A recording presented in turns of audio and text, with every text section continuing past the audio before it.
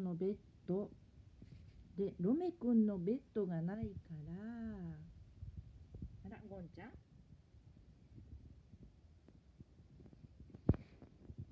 買ってあげたのね。これこれロメロメくんのベッド。でもさっきまでゴンちゃんが寝てたのね。ゴンちゃん気に入っちゃったのかな？